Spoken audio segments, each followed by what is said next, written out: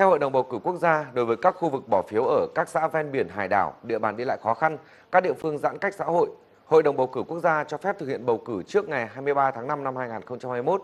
Và tính đến thời điểm hiện tại, toàn quốc đã có 16 tỉnh thành phố có các khu vực bỏ phiếu được phép tiến hành bầu cử sớm, ghi nhận tại một số địa phương tổ chức bầu cử sớm.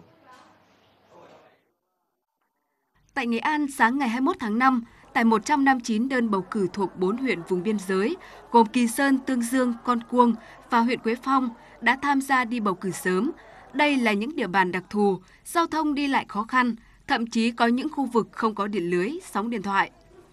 Theo đánh giá của Ủy ban bầu cử tỉnh Nghệ An, trong suốt quá trình tổ chức bầu cử, tổ bầu cử sớm đã thực hiện đúng quy trình, đảm bảo an toàn phòng chống dịch bệnh COVID-19.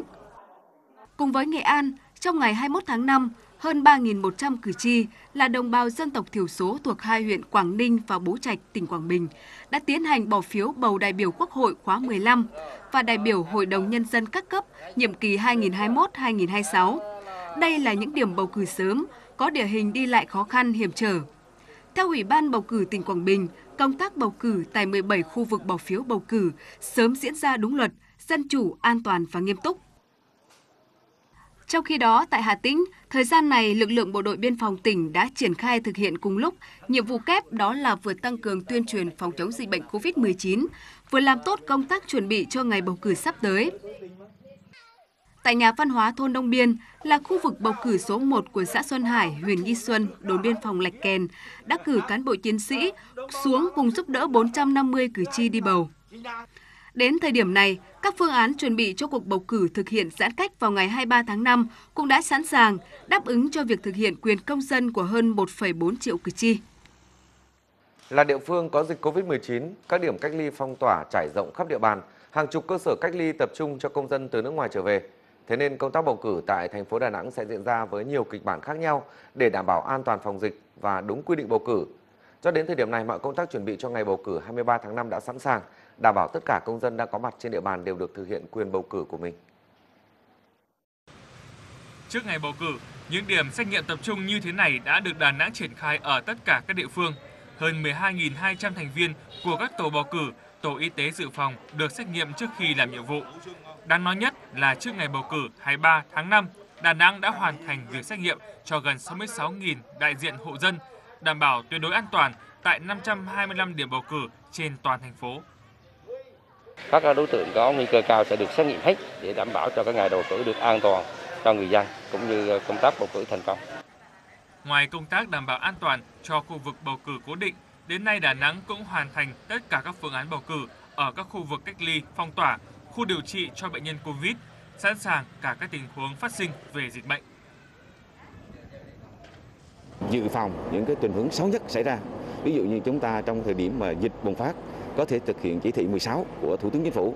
thì lực lượng ở đây trực chiến trăm phần trăm sẽ điều phối lực lượng và hỗ trợ các địa bàn mà có điểm nóng về Covid thì chúng ta sẽ kịp thời xử lý và xử lý tình huống mà nếu như là các cách ly tại à, trung tâm cách ly hoặc cách ly tại nhà thì có từng phí phụ chúng ta sẽ đến từng nơi. Ở riêng khách sạn á, thì hiện tại là chúng tôi cũng có cái phương án riêng thì hiện nay á, là coi như mà ngành y tế sẽ phối hợp với tổ bầu cử để tổ bầu cử thực hiện để đảm bảo cái việc phòng chống dịch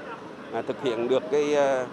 việc là tạo điều kiện cho cái cử tri à, cách ly tại khách sạn thực hiện cái nhiệm vụ cũng đảm bảo cái phòng chống dịch. Với đặc thù là địa phương có dịch, để chuẩn bị kỹ lưỡng cho ngày bầu cử, Đà Nẵng cũng đã tổ chức hàng loạt cuộc diễn tập thực địa ở từng địa điểm bầu cử khác nhau, lên phương án cho việc phát sinh, sẵn sàng lực lượng dự phòng để bố trí thay thế cán bộ ở điểm bầu cử cố định trong trường hợp nghi nhiễm COVID-19, đảm bảo ngày mai 23 tháng 5, công tác bầu cử sẽ diễn ra đúng quy định và an toàn.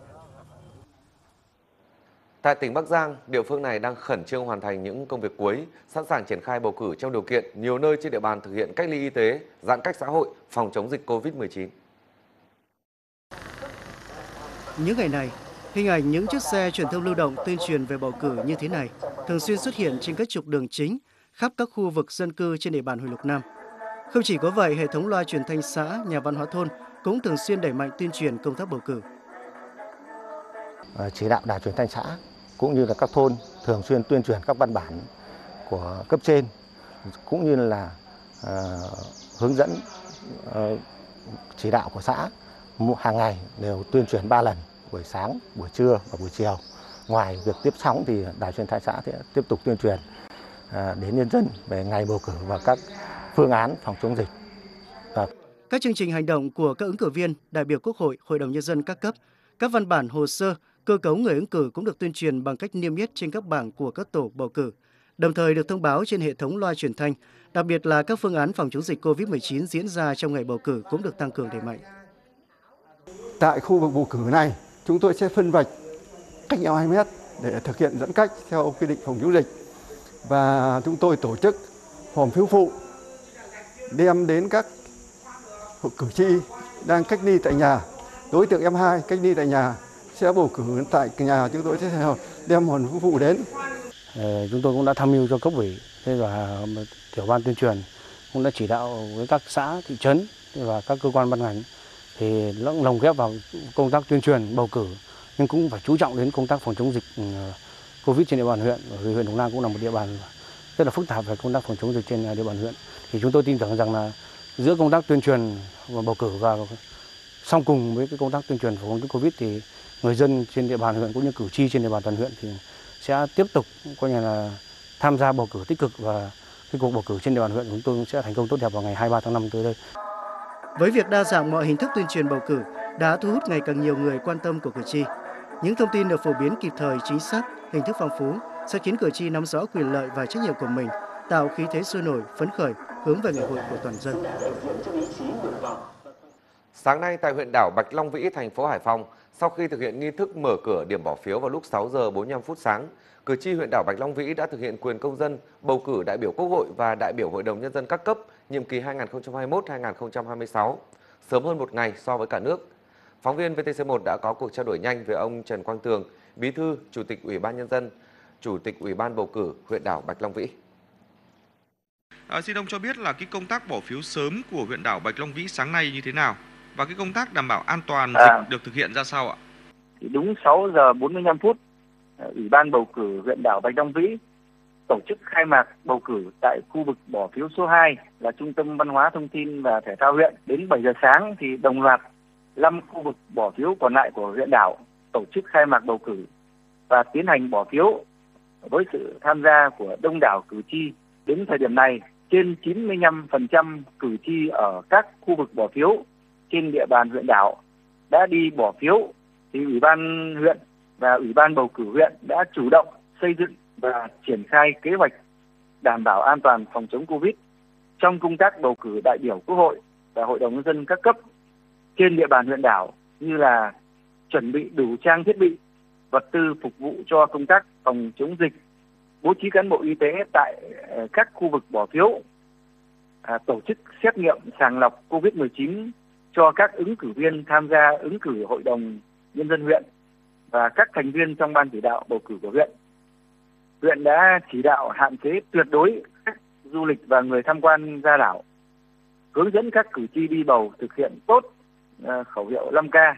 À, xin ông cho biết cái, cái không khí à, đi bỏ phiếu của cử tri và trong các cái cuộc ờ, tiếp xúc ờ, cử tri ấy, thì cử tri họ kỳ vọng gì ở những cái ứng viên mà trình bày chương trình hành động nếu là họ trúng cử đại biểu? Cử tri huyện đảo Bạch Long Vĩ sáng nay đi bỏ phiếu thì rất phấn khởi, ờ, vui mừng nhưng cũng rất là